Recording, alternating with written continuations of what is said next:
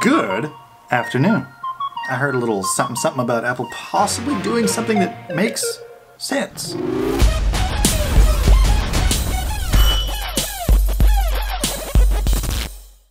On top of the rumors that Apple plans to be launching three new devices this year sometime later, there's also something else floating around talking about in 2019 them switching from Lightning to USB Type-C. This is kind of flabbergasted me because that would make sense, and Apple doesn't traditionally make a lot of sense. To me, at least. I came across an article on Know Your Mobile that said that this word comes from China. Speaking to Digitimes, I believe it was. Yeah, and they said that Apple was in the process of redesigning their chargers for 2019 for the iPhone and the iPad range. Fuzzy.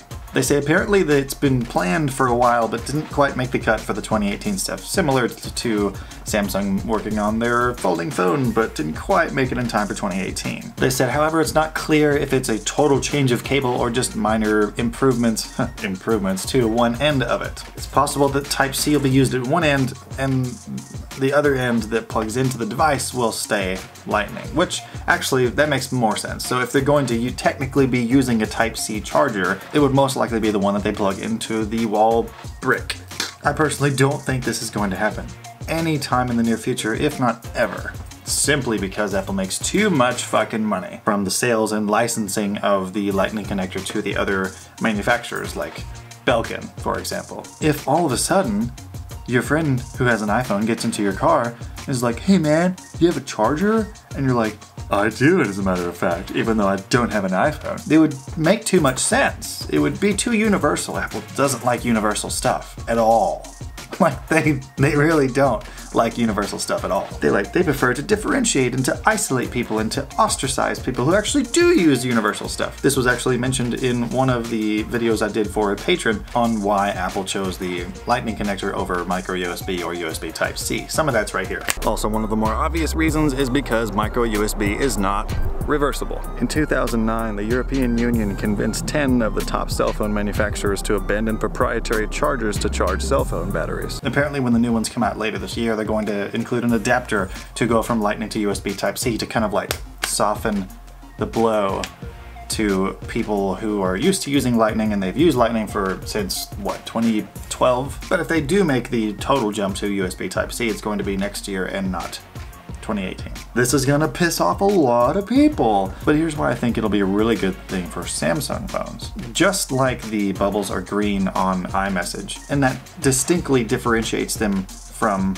the blue bubbled iPhone to iPhone messaging, which creates resentment or what's the word? Condescension, maybe? A way for Apple users to look down on whatever isn't a blue bubble. Just like how if in the previous scenario, your iPhone using friend gets into the car and is like, hey bro, do you have a char? Ah, uh, no, you get like that USB Type C thing, which creates like a, you don't have what I need, therefore your phone is inconveniencing me. Your different charging port is creating a problem for me. So if everything got put on the same playing field with USB Type-C across the board, that aspect would go out the window, which would be great. It'll just give iPhone users one less thing about Android or non-Apple phones to about. I'm receiving a call. Hello? This is Alice from Visa Card Services calling about your credit Shut up! Block number. Fantastic. Where were we? I guess one way that it does make sense is that Apple's already cramming USB Type-C ports down people's throats on their MacBooks and taking away regular sized ones. So it might happen, but again, they make far too much money off of the licensing for Lightning to make such a drastic switch. I just, I don't think it's gonna happen. We're gonna end this video with an appreciation for the Scotties, the patrons on Patreon that pay anywhere from 10 to $15 a month, and they are Stuart Glover, Kyler, Eric Price, Stephen Nichols, Nick Hawks, Spidget, Sin O, Josh Utley, Shannon Jones, Unit Omega, and Christopher Caswell. I stay with my Scotties. My Scotties on my board. I ride with them. That on the generation. Next we have the Super Beamers paying anywhere from 5 to $6 a month, and we only have one, and his name is Albert. And finally, we have the Beamers, the ones that pay $1 to $2 a month, and those are Encrypted Money and Excelsior. Stay charged and stay beaming.